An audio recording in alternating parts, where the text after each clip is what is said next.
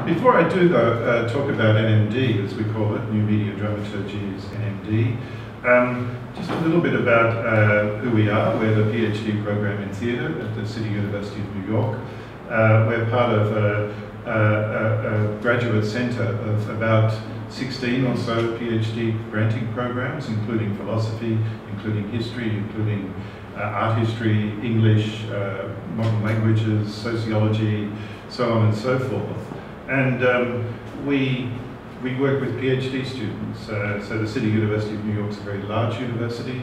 Uh, we have some master's students, and perhaps Nick will mention that a little bit later on, that uh, there is a master's program in philosophy at, at um, at the, at the Graduate Centre, but we mainly produce PhD students, and so we're in a very privileged position. Um, we also, in the theatre program, work very closely with uh, my colleague Frank Hentschker from the Martin E. Segal Theatre Centre. And Frank is going to take you through some of the uh, many activities that that centre does, but just to acknowledge that the future of research is, is actually engaging with practitioners and engaging with practice. And one way we do that at the, at the Graduate Centre is to work very closely with the Segal Centre, uh, who produce extensive uh, amounts of public programming. And Frank and I, over the last couple of years, have formed this kind of conversation around dramaturgy as a key word. Dramaturgy as a research modality inside the PhD program. So we have a number of students working on dramaturgy of contemporary performance or dramaturgy of dance, um, but also dramaturgy as a way of investigating and doing practice and thinking dramaturgically about practice. And so one aspect of that is what I'm going to talk about today in this, um, in this hopefully not too theoretical paper. Um, so we'll just uh, move through the slides, and um, that's a great slide. So the presentation's in three parts. Part one's going to try and define a little bit uh, what I mean by new media dramaturgy and what we what we think we've, we've developed as a, as a concept. Part two is looking at that concept in relation to two case studies uh, that kind of bookend the narrative of new media performance, and I'll come to that in a minute. And part three will be just some very, very short um, observations and conclusion, concluding remarks. So, begin with an anecdote. I went to drama school in 1978. Uh, and in 1978, the drama school's philosophy was that even though you might be training as an actor or a director, you learned everything. You learned how to do the lights, you learned how to do the sound, and so everybody had to take a, a, a practice, a, a, kind of craft task alongside an acting task or a directing task. And so we learned how to make, do lighting design and sound design, um, but this was all pre-digital. And so it was, in fact, you know, relatively simple uh, to, to, to do lighting. You, it wasn't simple to uh, design a nice state of lighting, but to operate the equipment was actually relatively simple. You had very few levels of control.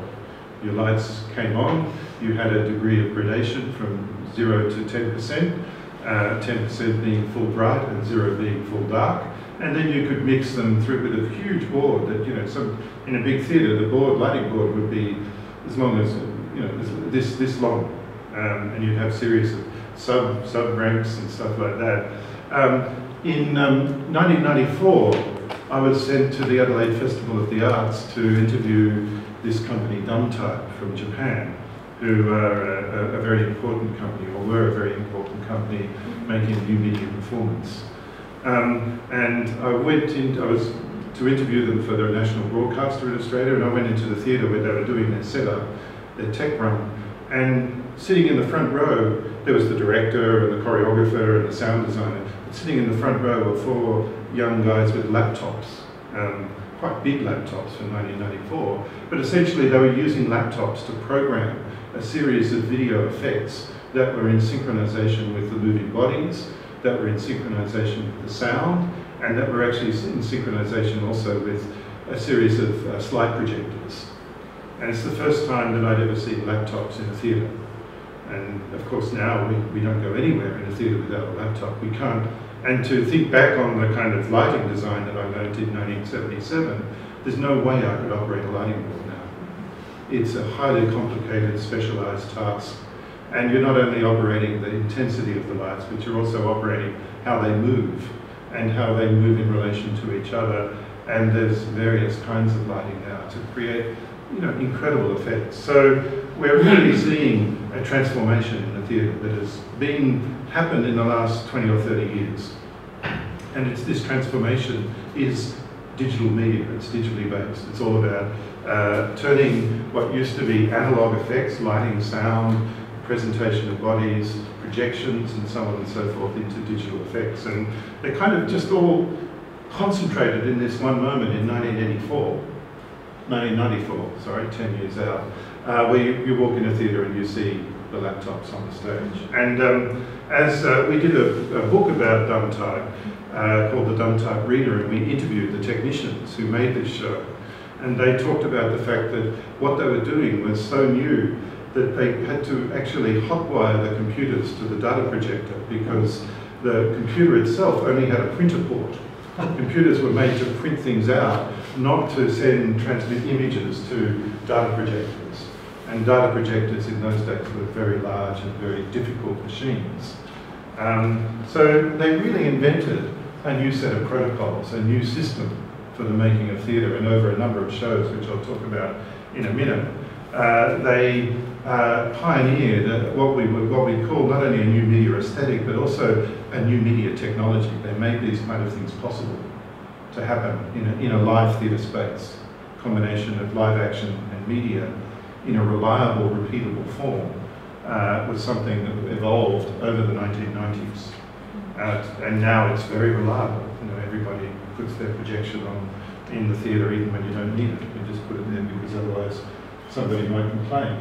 Um, so, thinking theoretically though, we came back to a set of practices or a set of ideas that were espoused by uh, a well-known Belgian dramaturg named Marianne van Kerkhoven. Uh, Marianne began her artistic career as a dramaturg in the 1970s and 1980s, and she worked as a pioneering dramaturg uh, where she made links between performance and dance. And she worked as a dramaturg with some very well-known artists like Pina Bausch, uh, like um, uh, and, and Teresa de Keersmaeker from the Rosas Company, and like William Forsythe, all of whom were producing this new language that was between traditional theatre, theatre that told stories and had actors on stage pretending to drink cups of tea and and, uh, and you know, basically projecting out into an audience who were watching a kind of fourth wall, and dance, which was much more about embodiment, about sensuality, about uh, feeling something, giving something to an audience that was feeling based rather than narratologically based. And so she was one of these pioneering figures who started to explore how the vocabularies of those two forms could start to mix with each other. And therein lies the link to dramaturgy, because essentially when I talk about dramaturgy, I'm talking about the recognition of vocabularies, building blocks that make theatre. That's what dramaturgs do. They look at the building blocks of the theatre and they give comment on that, or they write about the meaning of that. And so Van Kerkhoven had this, you know, very insightful kind of thing. And, and, again, she was writing in 1994. It must have been a good year for people rethinking In a, in a, journal called Theaterschrift, where she said she wondered about whether there was a dramaturgy for the movement sound, light. And she had a big list, sound, light, bodies, set design. And so she suddenly made a shift in our thinking out of this idea that dramaturgy only concerned itself with the narrative or the structure of the text, and into the need to think dramaturgically about the, you know, what we would call in theatre studies the mise en scène, the whole experience of the stage. So we started to have to think about what happens when a story exists with a very powerful sensory experience coming through the media. What happens when um, things like lighting and sound, which do give very strong sensations to audiences, can even overpower uh, uh, the, the, the, story, the so-called narratological story that the, that the audience might be watching. Uh, what happens when artists are consciously using media to interrupt story and so on and so forth. So this is a very important observation and it really, she, she coined the term new dramaturgy as opposed to, we could say old dramaturgy is associated with the theatre of Bertolt Brecht, Prior to that, it's a very German tradition. It's uh, associated with uh. Lessing. And indeed, dramaturgical theories go back to the ancient Greeks. How do you make a well-made play? Have a good beginning, good middle, have a rising climax, but you make sure it's resolved at the end.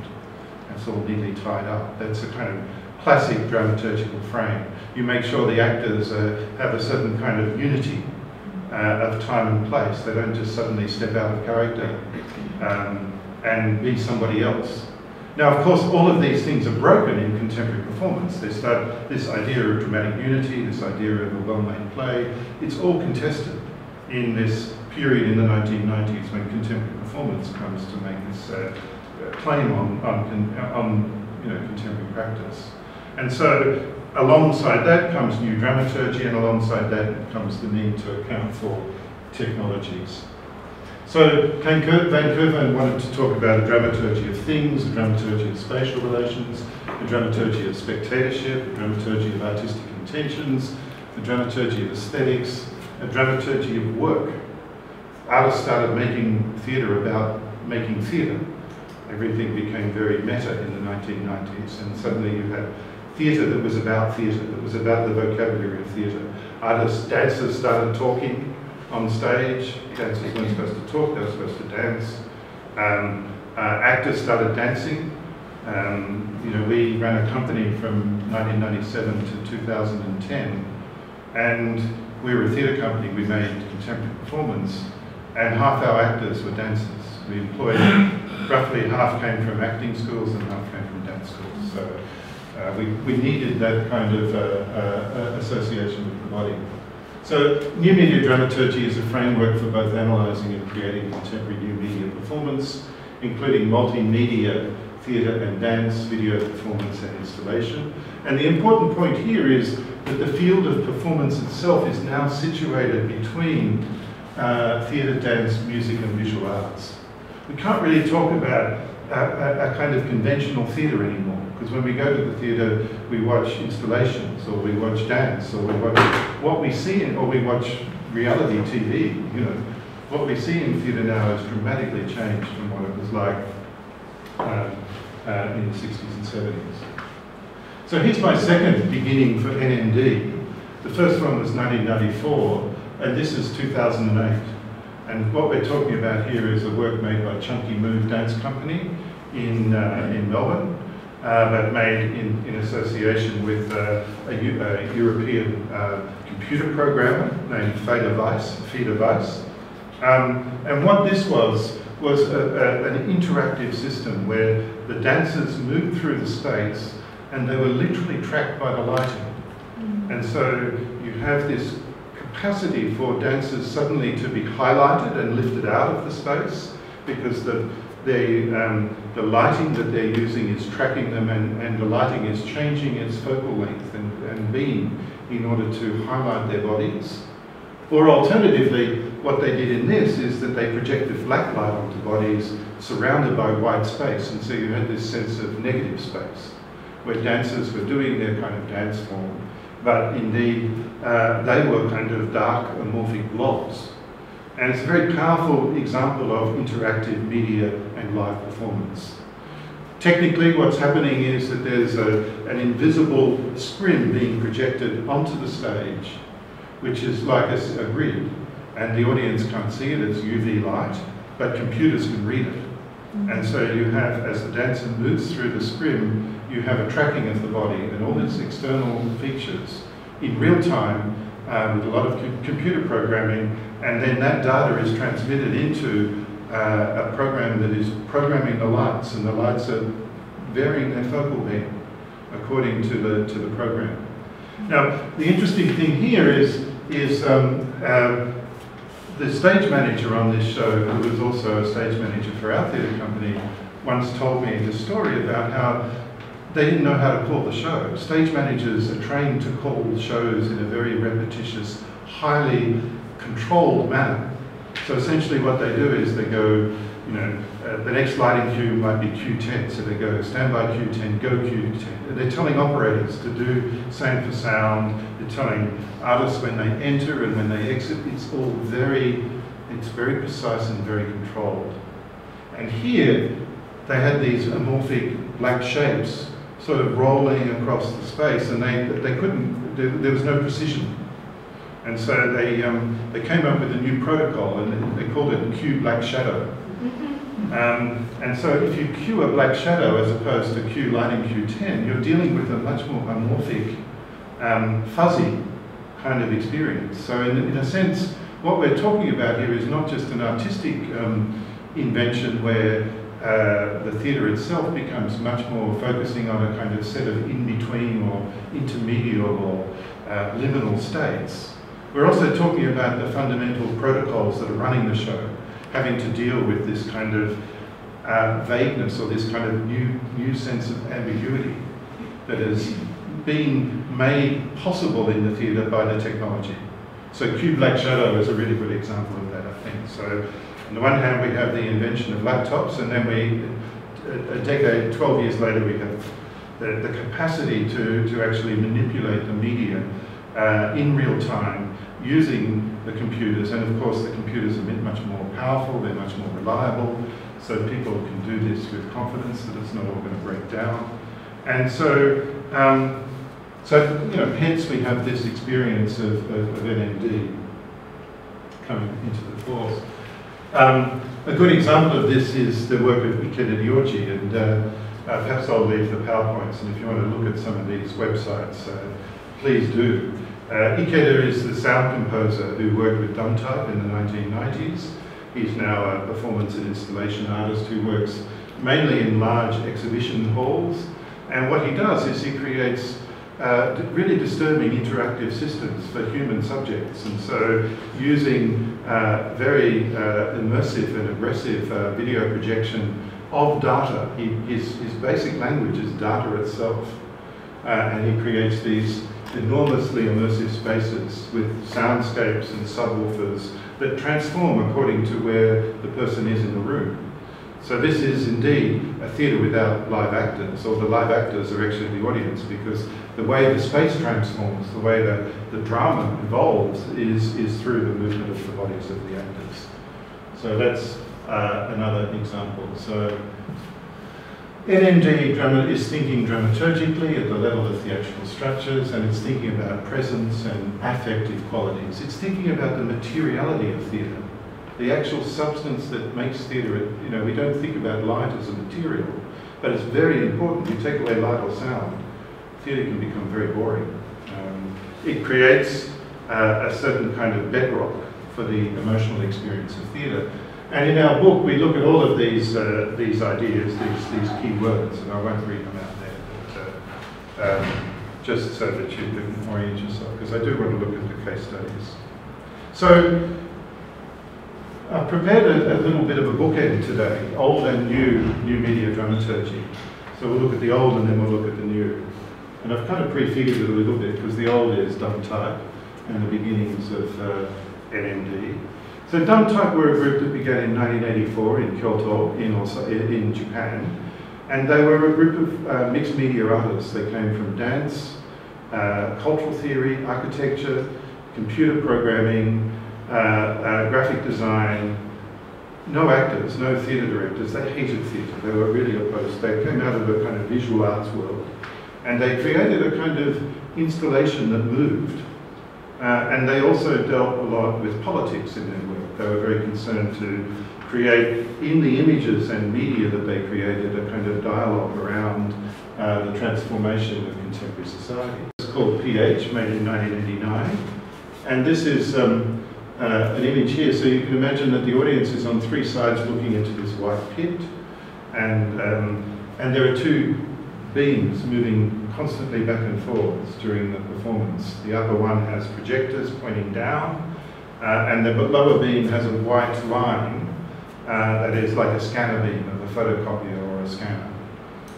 1989 photocopiers were still sexy things, I guess, but um, um, but certainly, uh, what happens is that the dramaturgy of the performance is completely determined by the movement of these beams, because the lower one is about this high off the ground, and so the dancers either have to jump over it or light, their choreography has to incorporate some way of lying down so that they are literally scanned by the, by the, by the white light.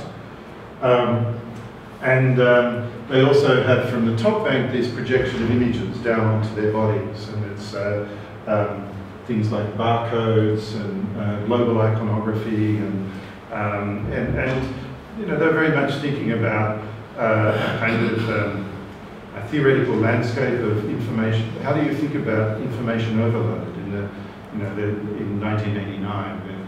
It's a very long time ago now, but it's the beginnings of postmodern theory. It's the beginnings of several key texts in cultural theory by people like Fredric Jameson, by people like Asada Akira in Japan, um, uh, and who are, who are observing this transformation of society because of digital media. And they're saying, well, how does society change? And one of the ideas they came up with is that it changes because we become data. We become inscribed with the data. It, it just walks on us. And um, so this is a performance that attempts to demonstrate this, um, this idea of information overload. And the idea is that it enters the body. They talk about how it transforms the body itself through uh, an awareness of globalization, global iconography, um, it's stuff that we just take for granted. It's part of our everyday world now.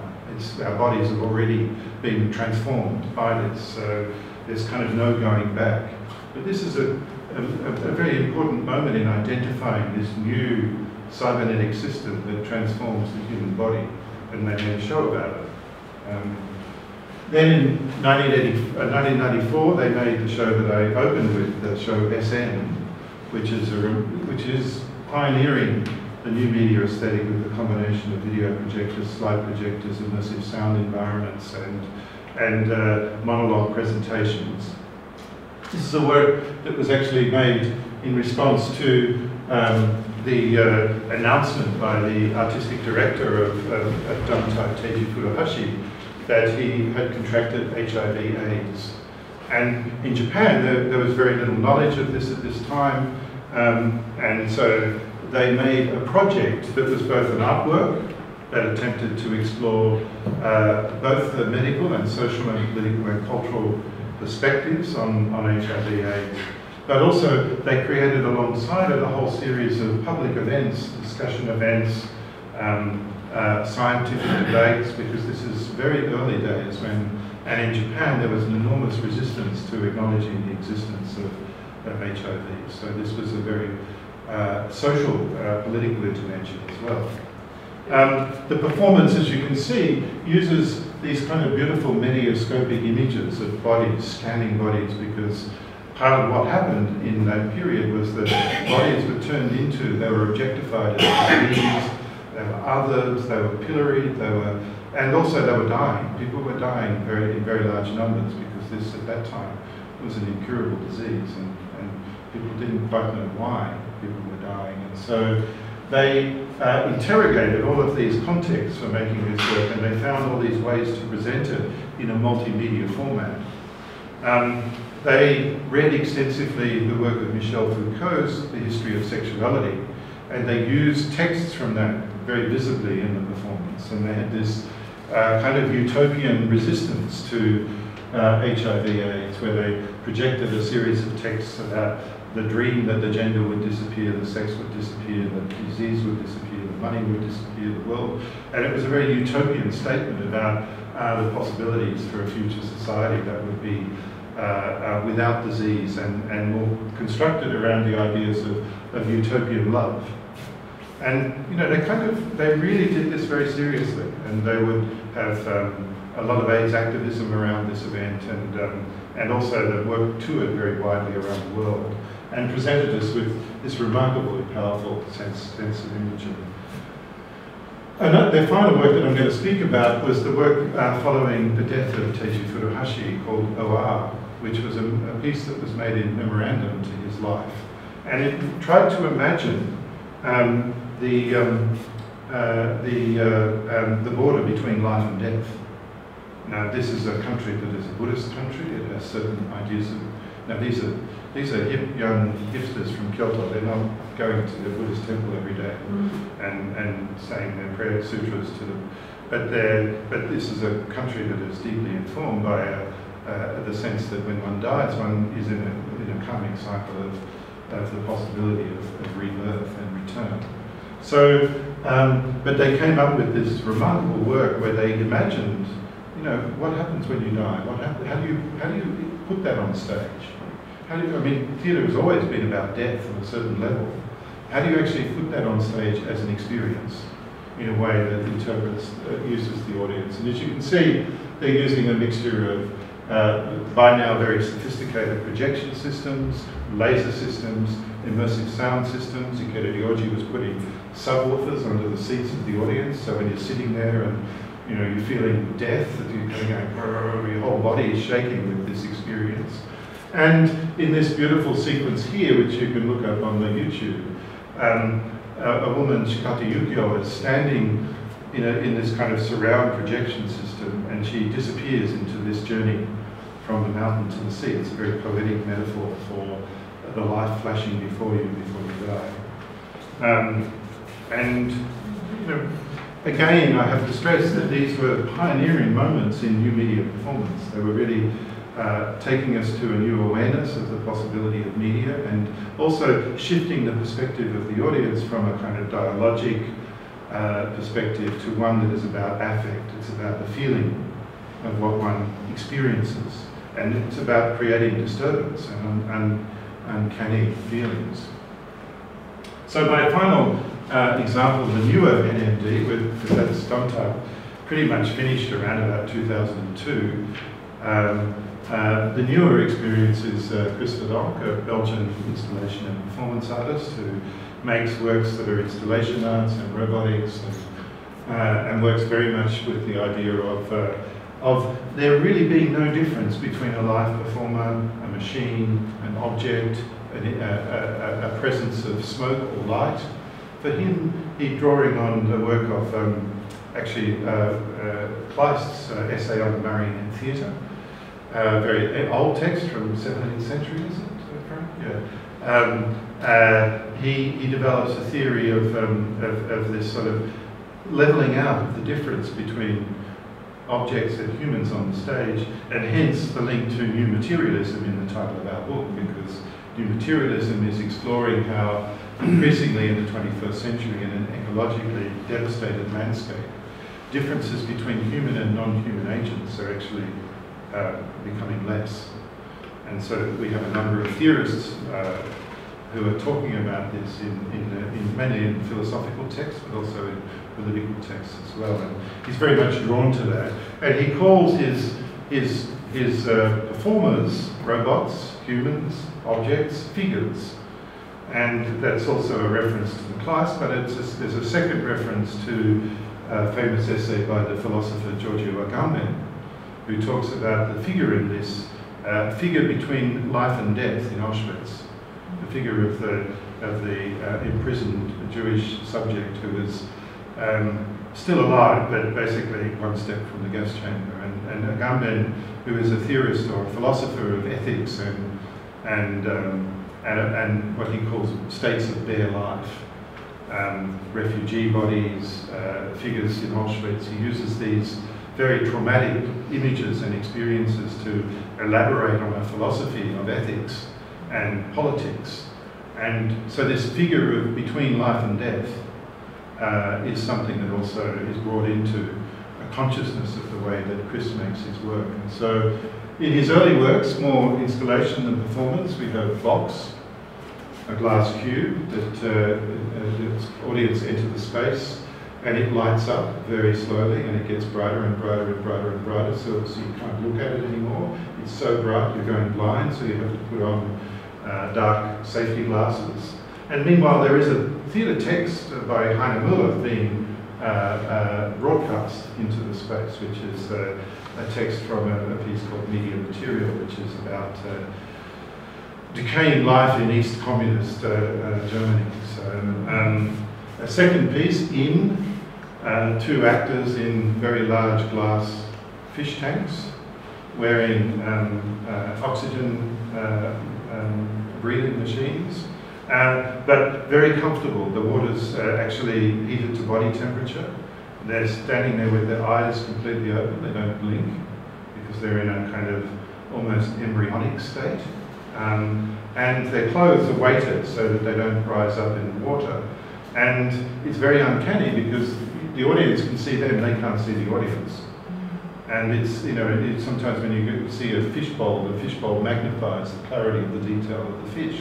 A similar thing happens here, and there's a, a whole text or discourse around this work about the, the artist looking back at the audience, uh, which is an, an, act of projection, because in fact the artist in the, in the, in the thing can't actually see the audience, but uh, they themselves report feeling very comfortable.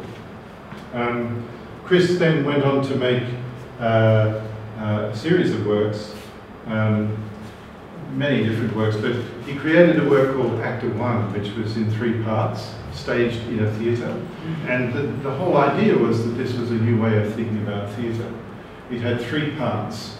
The first part is mass, um, which I'm just going to show a little bit of.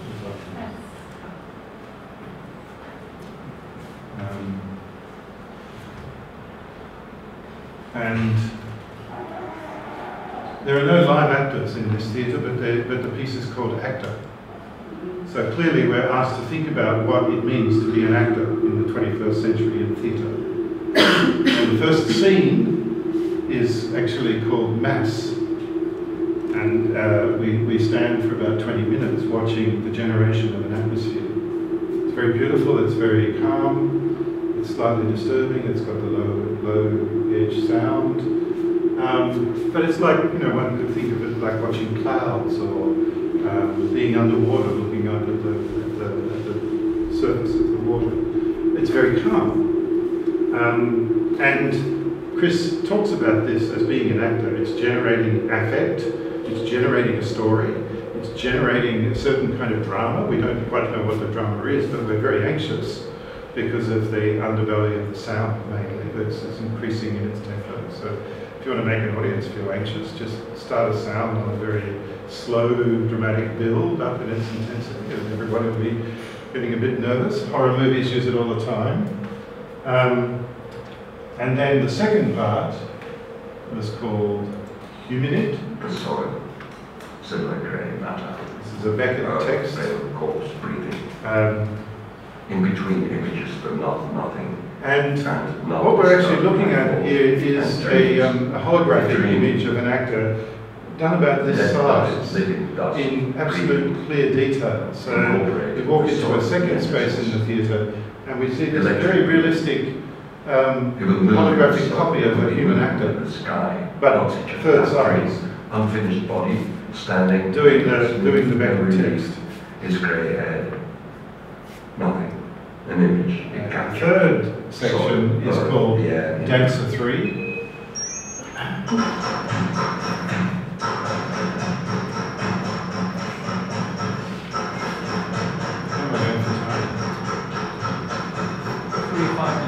That 35. Three to five minutes. Okay.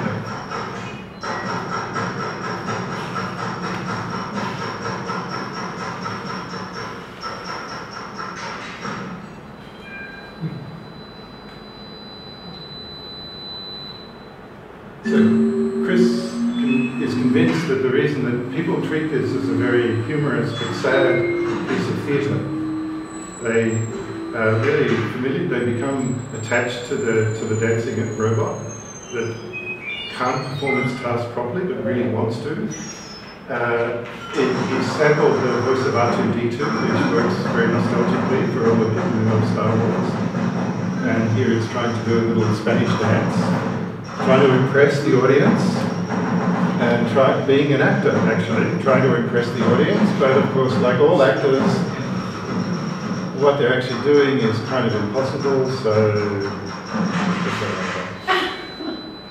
but then the machine makes them get up and do it again. So, um, so Kris has this, you know, this idea of what this work is doing is taking us through various states of acting. The first one is is a kind of an affective state of, of, of mass and of uh, the mist uh, which is a physical presence in the space. The second one uh, rely, refers to the concept of the, um, of the humanoid, uh, which is, is, inspired by the homunculus, a medieval construction of a small person, a little bit like a golem in some respects, but without the same, those magical powers. But uh, a European idea that's also to do, it's actually a Greek idea, it goes back to Greek antiquity. Um, but it's also alchemical, it's about transformation. And then we have the idea of the dancer three. Performance involves the object's attempts to jump in the air.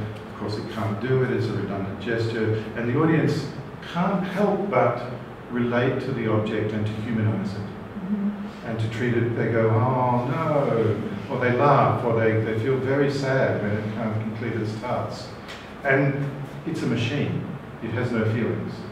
So it's clearly a machine. It's clearly in a repetitious kind of psychotic system almost, where it's designed to fail, and as Beckett said, fail, fail better. So, um, said, and I'm going to skip, going to go right to the end now. You have time, you have time. Um, this is the, the most recent piece that uh, Kris has made called Conversations at the End of the World, where there are live actors on stage. And there's a live concert pianist on stage as well. And they act, they perform text, they tell stories, they play music at a very high level. These are some of the top actors in the Belgian scene. Um, and the musician, he's a, he's a world-class concert pianist. And they know that they're on the last day of the world. And what happens is they fill the time in a very Beckettian kind of way. They just talk to fill the time. They tell stories, uh, they play music, and um, and then this, this, this dark grey snow starts to fall. About it's a 90 minute performance. About 40 minutes in, the snow starts falling, and it's incredibly beautiful. It's so beautiful. The audience is lulled by this beauty, and they keep performing. They don't seem to acknowledge the snow, but slowly, little by little, they're buried in it and, uh, and this is Conversations at the End of the World. And so we have this depiction of the end of the world. This is a piece that is obviously referencing uh, the issues of climate change. Uh, it's a deeply philosophical piece because it's, you know, it's about what um, the uh, Italian Marxist theorist Bifo Berardi calls the phenomenology of end, our fascination of the experience of the end times. Uh, and so coming to part three, just to summarize, um, new media dramaturgy is somewhere between machine and image, between what Marianne van Kerkhoven calls, in relation to Verdonck's work, the need to listen to the bloody machine. And so when Verdonck makes a work, he says, I need to listen to what the machine wants to do. Whether that machine is an actor, a human actor, or a, or a machine that is built, uh, the, the task, the dramaturgical task is listen to the machine listen to the apparatus. And those of us who are philosophically minded knows that that then in turn signals a whole set of dialogues around machine-like society, apparatus, uh, systematic you know, discipline. It references several well-known uh, philosophical perspectives on contemporary politics and society. Our, and what Shikata Yukio describes in relation to Dumb Type's work uh, as the image machine. And so now, I think when we go to the theatre, so often we're watching an image machine, we're watching something that operates on a, you know, on a dialogic level, but it also very powerfully operates on the level thank you for your time. Thank you.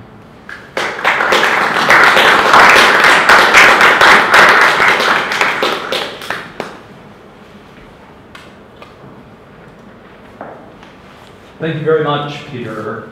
Uh, that was absolutely marvelous. I would like to remind you, uh, because I neglected to, to, mention it, that next Monday um, at 5 o'clock here, we'll be screening a documentary film about August Wilson, uh, absolutely extraordinary uh, American playwright um, and one of the most important African American writers of the 20th century about his work. And the next night, uh, Tuesday, then we'll uh, have David Shumway from Carnegie Mellon talking about uh, uh, August Wilson's work from his new book on realism. So please try to come to that if you can. Now I'd like to uh, introduce uh, Frank Hentschker, who's a, a great friend uh, as well as uh, an extraordinary uh, scholar and curator. Um, he holds a PhD in theater from the Theater Institute in Gießen, uh, Germany, and joined the faculty of the PhD program uh, in theater at the Graduate Center, University of New York in 2009. Um, he currently serves as executive director and director of programs at the Martin E. Segal Theater Center. And for those of you who know, it's across the street from the Empire State Building in New York. It's you know one of the key sort of centers of culture on any given night. In New York, you're likely to go see Tom Stoppard or Naomi Klein or John Sayles or, you know, uh, giving lectures and the Segal Center, um, which uh, uh, Frank has uh, curated uh, events of all kinds over the, last decade, has some of the most interesting and innovative theater from uh, all around the world. So I could sort of list some of the the different um, uh, programs uh, that he's done, like Prelude and, and PEN World Voices and so on, but I'll let him do it. But um, uh, it's a wonderful sort of uh, complement to what Peter's done in focusing on this one particular area to talk about the breadth of what you do. We have a long-standing relationship, I should say.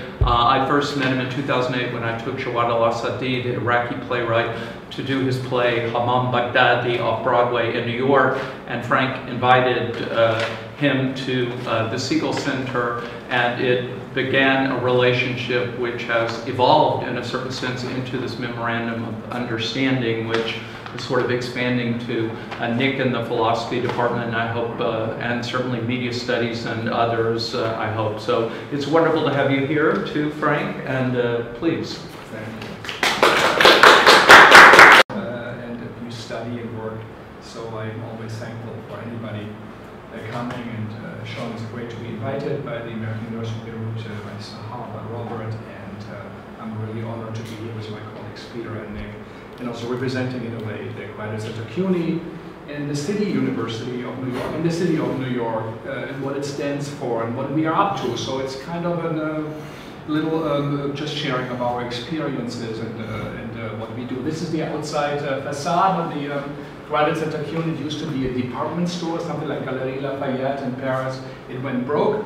And now it's a big store in a way still of ideas where people come in and get something, but it's not something commercial, it's not something you buy, it's not like in Dubai where I was yesterday, you know, you buy a lot of things, here you get a lot of things, but it's kind of immaterial, it's something for your brain, and um, and that's, uh, I'm so honored uh, to be part of that uh, um, 21st century uh, factory or workshop or research lab, however you would call it, at Center. So there are actually 30 PhD programs, 30 centers that communicate with the city. The city university is paid by taxpayers for the people from New York. Uh, 1862 it was founded, people, normal people, could not go to Yale or Harvard, it would possible to get in. And they said our kids should also go somewhere, and they called it, we need to have a city university. It was first called free university, now it costs uh, a certain amount of money, three, four thousand a year, but nowhere close to the sixty thousand at NYU and Columbia, and uh, we are very proud of what we do. 80, over 80% of all first-time uh, um, African American, Latino American, Asian Americans who go to universities come to us, and it has over 20 colleges all over the cities on a big umbrella. It was created in the 70s after the financial crisis. And this is a little bit the ground jewel, as Peter said, it's the PhD program, and it's a fantastic um, uh, building to be. I hope this is um, the right one here. Yeah. So I'm going to show you a little bit uh, very fast uh, what we do at the Segal Center. We perform our knowledge. It's a living archive, a research nexus, global network, the British academia, the theater communities, a global dramaturgical research center, and it's a home for students, uh, scholars, artists, and theater audiences. But what does it really mean? These are all words. It's easy to say, it's easy to write in the paper. Um, what we are interested in uh, is uh, the knowledge, but also what do you do with knowledge? I spoke with Nick about uh, my, my family is a knowledge and the universities, and my dad uh, left school when he was nine years old. He was a displaced person. And uh, he didn't like that I went to, um, to find my three year of gymnasium. I went to university. He was very skeptical said, what about all these professors who were the Nazis in Germany? How come? There were workers who were against it. He said his father was against it and who died in one of the factories. What's knowledge good for? Just always remember that. And I think that's a good, good thinking, and I think it's something what we do in the theater world. We say, what do we really do it, and what do people do with that knowledge? And that is significant. How does understanding take place, and what is the meaning of what we do? This is of importance, and speaking of philosophies, you know, that come to the next idea. Kant famously said, a German philosopher, we look at the reality and uh, I think that's real, but he says there's no, nothing like really reality. Look at the three horses on the meadow and they're grazing. You already need to be able to count. You need to know what's a horse. You need to know why are they eating. So there is nothing you just get into your mind. There is a lot of things which we already have preconceptions about. And why is theater interesting? And we just had a talk at our Prelude Festival. I'm going to come to that later on. Uh, someone who started out as theater director, and now she works in cognitive science, and she had gave a talk, and she said actually she could scientifically prove what's good theater. And, uh, and she said it's all about uh, cognitive reception. She said contemporary theater, most of the theater is boring. It doesn't do anything to your mind. It's like sugar basically for your brain. She would say all these kind of stories of individual fates, you know, like your divorce or your mom dies and the dead baby in the backyard, all that stuff. It doesn't really do what theater or the science are supposed to do. It challenges us to get a better understanding of the world, a better meaning. She said, we have to irritate, we have to tell stories that make us wonder, that bedazzle us. And in that kind of confusion, understanding takes uh, play. She says, you know, for example, Richard Maxwell, the New York theater artist, people would tell a story and how they emotionally express it has absolutely nothing to do with what they say. It's actually the contrary of it. But this discrepancy between that is makes you listen and watch. Uh, uh, a Japanese director, Peter also knows, he came first to the Segal when he was very unknown as now world star, Toshiki Okada, famously has actors um, do their own work. They um, have to uh, talk about their house and when they grow up, and the gestures like I'm doing now, he tapes them or they remember them, or another actor watches them, they redo it. Or they do it in character, but then the father takes the gestures from the daughter, and it's a, it makes uh, something that makes it interesting and it challenges our mind. So this is these three things in a way as examples what we do, what we try to achieve, so we understand where we come from. And we really need to understand better the world and we only get glimpses of it. And I think theater is a fantastic uh, way to, to do that. So this is our homepage, um, um, what we uh, do. This is a little bit our international programming um, of um, uh, what, uh, uh, where we show uh, artists work from, and I am, we are all interested, people from everywhere, minority languages, small countries, from places everywhere. If people come from Britain, we will be less interested if someone says, I come from uh, Botswana, or come from Lithuania, or I come from Burkina Faso. We are much more interested because it's not known. And they might know something we don't know. I don't know if it works. Um, I did put in a hyperlink today, but I don't know that most probably not really, it's too small. So um, how do I escape from that? Um, no, it's just loading. Yeah. It's just loading, you know. So this is our current uh, current website of um, uh, what we do. Our events. It's a little bit too uh, too short, so I'm, I'm not going to do it. Um, close all because I have links to all the sites, um, but I could also as Peter I can just email them to you. So this is, um, these are programs, it's already a couple of years old, but these are, gives you a So I don't think very few institutions, even in New York City. In New York City, almost, I don't know, 600 languages are spoken. People come from everywhere. But what you see on stage are mostly stories of white people, white men mostly, mm-hmm. mostly European. It does not reflect really the world. It's called the melting pot but some say it's the melting pot that never melted. and theater, at least we try to understand that world that is, is so complex and difficult uh, to understand. As uh, um, Robert said before, we do a couple of programs we are known for. One is called the Prelude Festival. Actually now 15 years, I created a Prelude Festival for New York theater artists, New York artists. have a hard time showing their work. They don't have a theater of their own. Everything is kind of a rotating uh, uh, uh, a show, uh, uh, a show basis. International groups come from everywhere. Also, American uh, productions are 90 to 95 percent commercial Broadway theater. This is how it's dominated. If you go to New York City, um, it's really commercial. Uh, um, 90% of all, everything that's shown are musicals on Broadway, and then what the European theater take for granted, the subsidized theater does not really exist. So if you are an experimental artist, as Sahar would be um, in New York City, she would have a hard time getting, on, getting a Broadway show with all the millions of dollars investment. Uh, um, the uh, Lion King has now created 8.5 billion dollars. Wicked 5.5 billion. They, they're done by Disney and Universal Studios.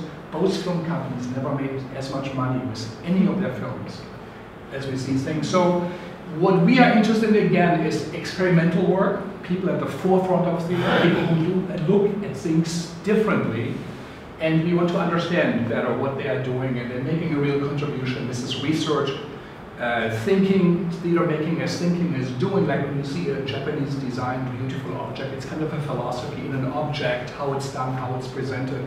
Germans maybe are better at writing it down and ideas, but uh, to put something into a form, and this is what theater does, is interest. So we invite 20 to 30 artists, groups, company to show works in progress, 20, 30 minutes excerpts. We have scholars talk about it, they talk with us afterwards, and they also creates a community, and that is another point that is extremely important. We create communities in New York City about the people, about scholars in New York City, CUNY scholars, international artists who come to us, who talk to us like we do, trying to create uh, something here with um, AUB and be part of a better understanding of the of the of the world. Um, we are involved in a festival that's called PEN World Voices, where each year we invite between 10 or 12 uh, playwrights. They come to New York City, we fly them in, the American directors rehearse the readings, the actors read it, there are discussions afterward, it's part of the PEN Festival, you know, PEN, the writers' organizations and poets, uh,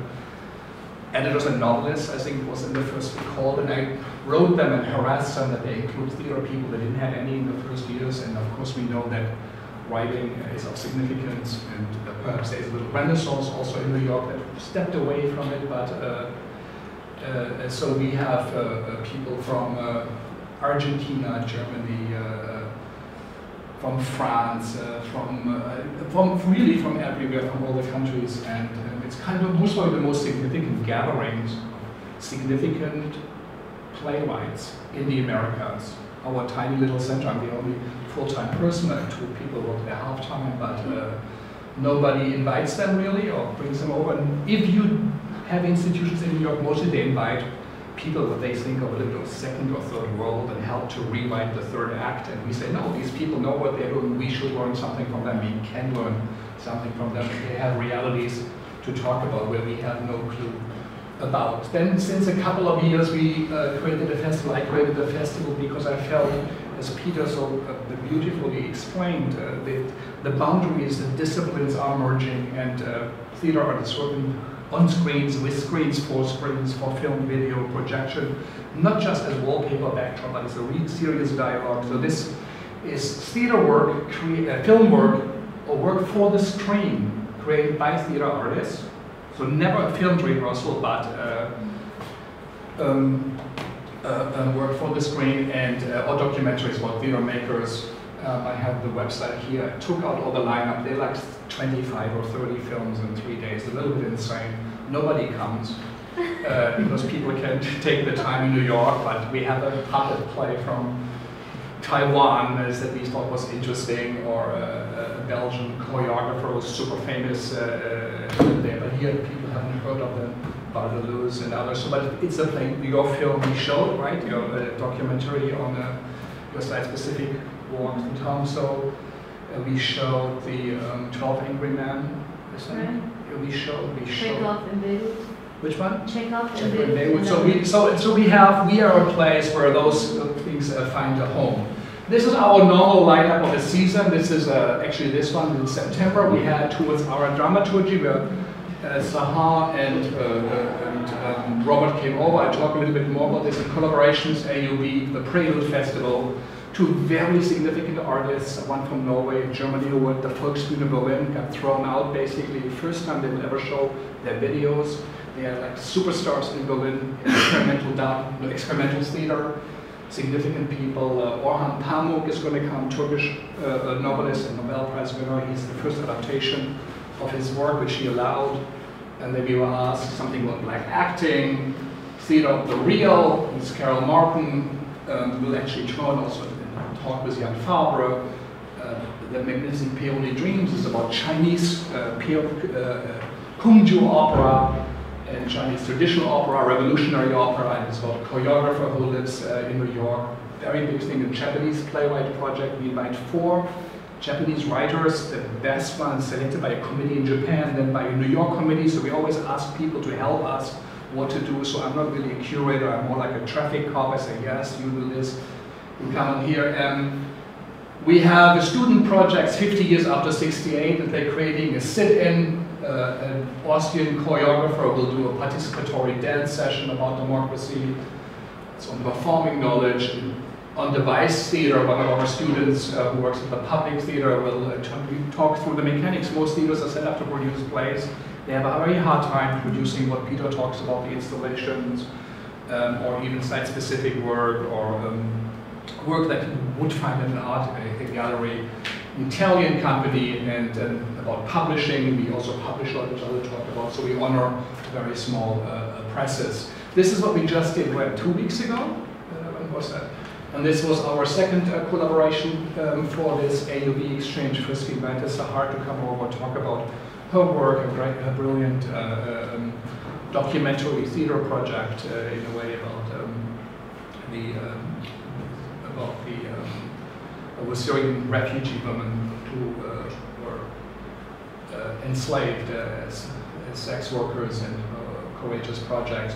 So this is uh, what we uh, what we just did. And now normally I would connect to the website, but we had two days. We had a theater artists, um, 15 uh, or 14 come and speak, and also uh, academics and researchers. Three of the most significant, the most significant, I would say, American, Arab American writers came. Uh, Mr. Balundi Batishamier and um, and uh, Lila Bach and others. And we a talk. Huh?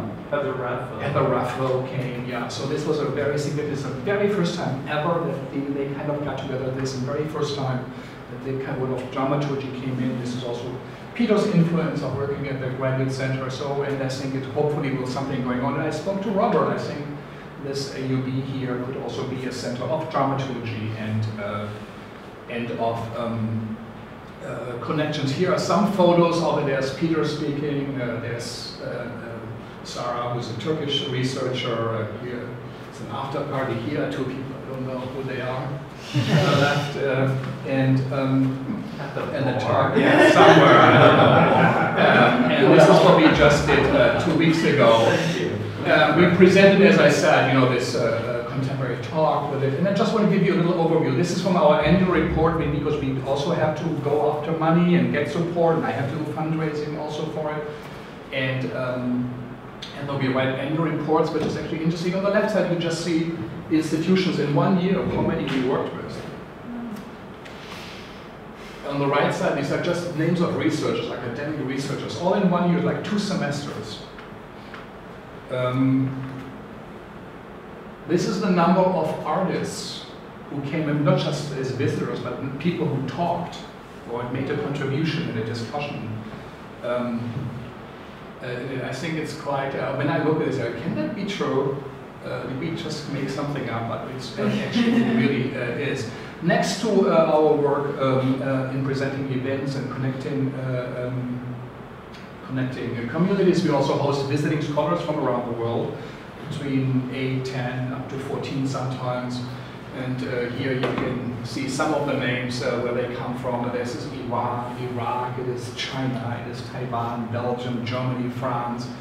Everywhere uh, people can come to us between three months, six months, some stay for a year and do research on something they have to work in uh, New York um, uh, research uh, institutions, uh, libraries, or they even research American theater. So we are a host. It's very easy with us uh, here. These are from this semester. We hold Mondays roundtables. And let's see, some in Japan, India, Romania, UK, uh, Italy, Australia, Japan, Germany, Switzerland, Brazil, China, Indonesia, Egypt. I mean, it's from one year actually, I think. Um, so, but um, this is just people who come through, who we engage with, listen to, and also get suggestions for what to do. And um, this is another little branch out. Uh, Marvin Carlson, our colleague, has a Carlson Theater Center, which is in Shanghai, which we are establishing relations with. The center has been kind of opened. We are just working, also Peter's working on it to get a five-year plan approved. That's what Mao did, I think, and so we thought that would work uh, to get some financial support and become more attractive. Yes, and um, so the idea is to have, you know, have something ongoing, um, and uh, uh, we played a part in it. I think one of the first uh, researchers that came was a PhD student or just had finished his, came as a visiting scholar, loved what we did, and, um, and a very big exchange uh, came out of that. We also helped to suggest the idea, and um, like Robert said, theaters often are communities are the ones, even between these two universities, CUNY and AUB, we're the one where it starts. We also have publications. Um, this is our publication site. It's books and journals, uh, uh, 20 books. We are the foremost publisher of uh, Arab texts in English translation, our tiny institution, what we do at the site. There's no even Nick book has less from London. So it's a significant work we think we do, like really print plays from Tunisia and uh, Syria and uh, Egypt and Jordan, wherever. So um, we have to research uh, the websites, also additional initiatives here. The, oh, here I have that.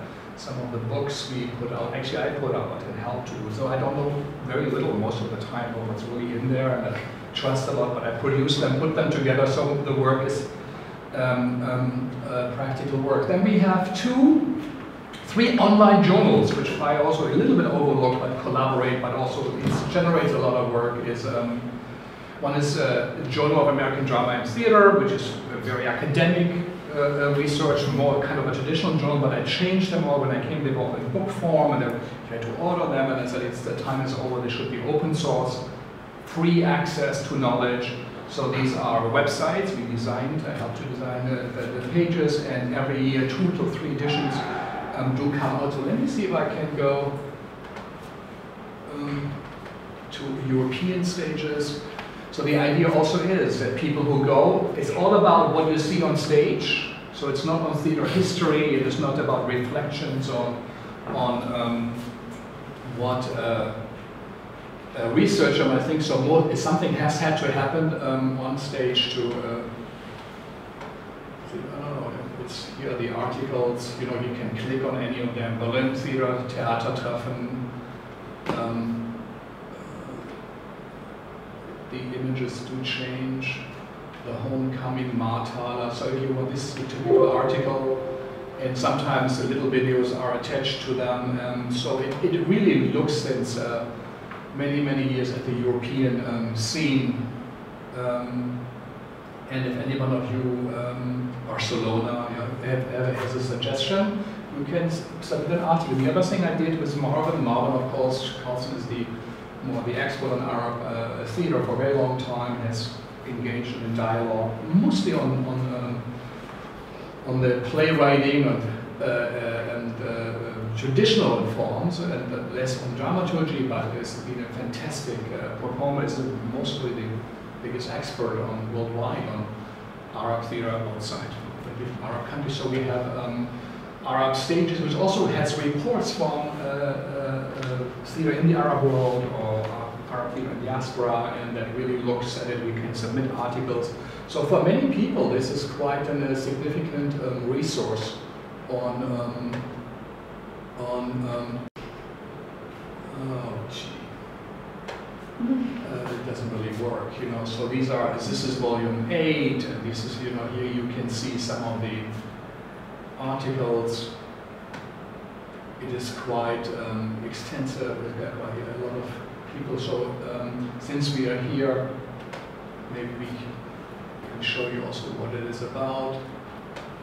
You know, it's devoted broadening awareness, and uh, doesn't seem inclusive. This is kind of a, a, a statement. Uh, what we do. So you see, we really have a deep engagement, and then that goes out into the world, into the global world, into connections, into people, into artists' work, and um, and um, if you see also um, the, um, for example, this is just one part, as I, as I, hopefully communicate rightly to you of our work here.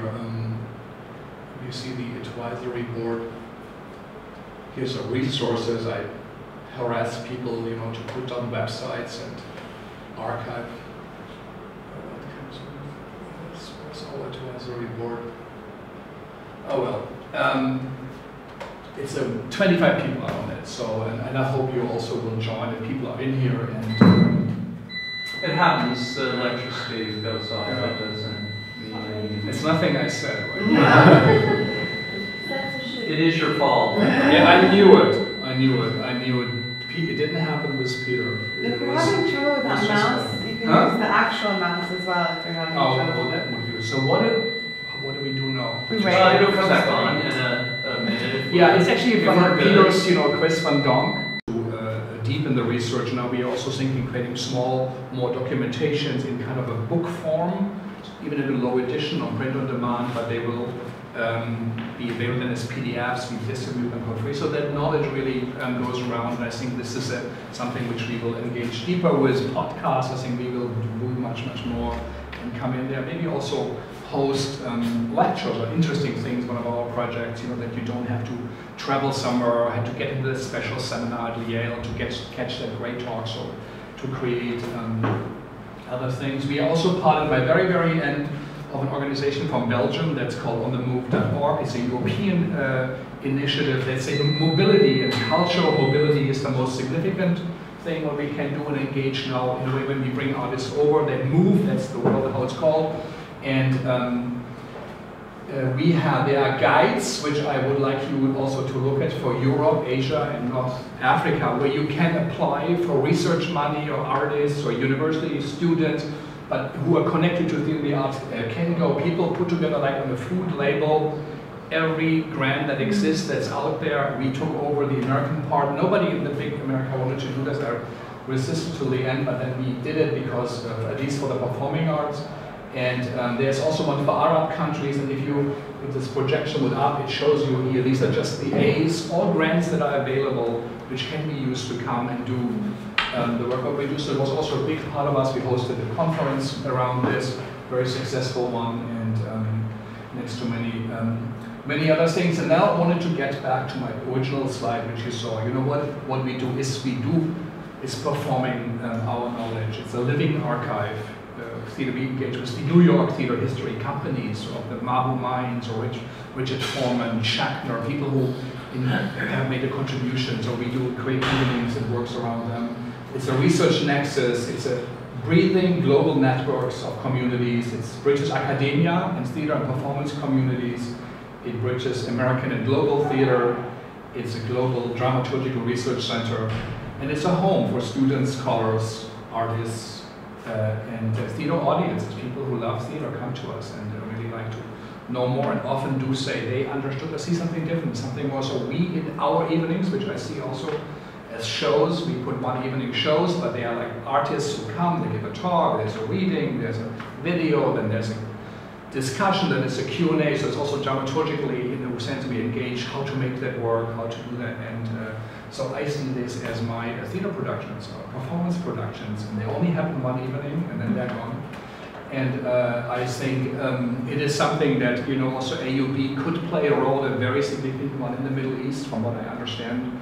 You have the interest, perhaps even small, but some resources, and you have uh, also connections, and with the theater lab, which you are starting, you know, I think perhaps to work in the dramaturgical sense uh, with that group out of our conference maybe have a network of Asian, uh, of, um, of Arab dramaturgs, which then could be in communication with European and Asian and African ones. So you enter kind of a global community. And I think to host um, and bring people over because people want to know also what's what's happening here uh, what we do. So I hope I didn't speak too long. No, it was perfect. Yeah, I apologize for the technological glitch. my suspicion is that by turning off the noise, I can't turn on the projector. Um, but I decided we'd live without it. But that was absolutely marvelous. We have uh, time Of course, it's much longer, but I cut two hours out. Uh, Well, uh, a a couple of questions, uh, if if you have them, um, it would be wonderful. I should reiterate that uh, um, we know firsthand um, uh, how important you are as a nexus, and people think New York is a very cosmopolitan place, and in certain respects it is. When it comes to the theater, it is not. It's really amazing how narrow the spectrum is of what you know is performed in, in theaters in New York, and um, you're one of the the a few exceptions to that. And it's on any given night, um, uh, practically you can walk into the Graduate Center and see things that you would not see anywhere in North America or you know, um, and and uh, so you know, for those of you who know the U.S., it's uh, actually rather insular in the way that Australia is, Brazil is. It's a world unto itself. So even the Lincoln Center uh, International uh, Theater Festival, which was one of the few festivals uh, that was uh, a venue for international theater, e- evaporated when it was canceled. You know, it like uh, uh, whereas uh, if you're in Europe, if you're in Latin America, um, you are used to encountering all kinds of uh, cultural production from everywhere. This is not true in the U.S. It's really, and you think, oh well, it's a melting pot, or there are a lot of people. In fact, one uh, uh, would be surprised how narrow the spectrum of what you see is, and a lot of it is commercialism. Um, but this marriage of, of the university, certainly the marriage of the university and uh, scholarship and practice is one that we we very consciously copied. When I established the theater initiative here at AB, I came and talked to Frank and said, you know, we're trying to put something together here that marries the two. And uh, you, we, it's allowed uh, Sahar and I, for example, to do all kinds of theater that you otherwise really couldn't do. There's nobody else doing it in town, and we do it in a very different way. And uh, you know, we're not trying to make money, though we've lately gone, well, maybe, maybe we should. But you know, um, in fact, that's one of the uh, beautiful and extraordinary things uh, here is uh, you have so much going on that um, inevitably some of it's very interesting to some audiences, some less so to others, um, whatever, but uh, on, uh, on a regular basis. Uh, again, these barriers that we see too in terms of discipline here between fine arts, uh, media studies, uh, you know, literature, uh, theater, they break down completely there. Uh, You know, it's sort of, it is the manifestation of what Peter was talking about too. So instead of giving a further harangue here, if anybody has a question, that'd be great. If not, um, uh, we're so happy about this collaboration and um, we're really hoping to expand it uh, more. It's been uh, a real huge success, not just in theater, but I think arts, culture, whatever, and we're so very happy to have you here. And, and the other thing is, of course, we did do something on our end in the spring. Um, too, when uh, Marvin uh, Carlson and Jean Graham Jones came for the play that Sahar directed, uh, Blood Wedding, in um, uh, here in Havana, and uh, two of your graduate students Mhm. um, also came and participated in the conference. So um, uh, it's a, a, a thriving relationship, and I hope it continues to. So. Yeah, and we are grateful to the uh, Graduate Center CUNY and the, the board of directors who gave a financial contribution so our faculty and students could come here. We could invite Sahar, we hosted a, a conference on Arab dramaturgy. I think we also in the Segal Center next to our time organization is very complicated actually. We put in also our resources. So it is a serious engagement. Um, I think the Arab world is in the news so very much. Um, we need to know more. What we hear is again, like stories everybody already knows and they're not the real ones. And um, so your center is a very unique one if what you have it's a, a big obligation, I think, and responsibility. People want to know more. People want to uh, come here. I think people want to get also impulses, perhaps from theater uh, that have that got lost from an Arab tradition. Um, and uh, it works. So I think um, I hope that uh, this is the beginning of a long uh, collaboration with Well, Venus, I, but also Peter, I hope you can come back and talk about Japanese theater. Not only what you talked about, thank you so much, David. Um, not only what you talked about today, which is absolutely fascinating and a lot of uh, things I knew nothing about and was very happy to know about, but to have you come back and talk about other aspects of Japanese, yeah, obviously that was woven into what you did, but. If um, you had enough money and Kris Verdonck has time, you could ask Peter, and he might come. You know, Chris to the would. show. It's now it's He'd bring his easy. jumping robot. Huh? He'd bring the jumping. He would, right? Peter, Peter, he would. Yeah, yeah, he would. He would. You know, it's like many, many others. So I, that's why I think this is really as a model. Why is theater interesting? Because it's a model for something. Something happens, in a, whether it's an atmosphere or an idea or something on stage. It happens on stage. It can also happen in life. And this, when something like this happens here, it stands for something much bigger and much more significant than just this event itself. And that's why it is even more important.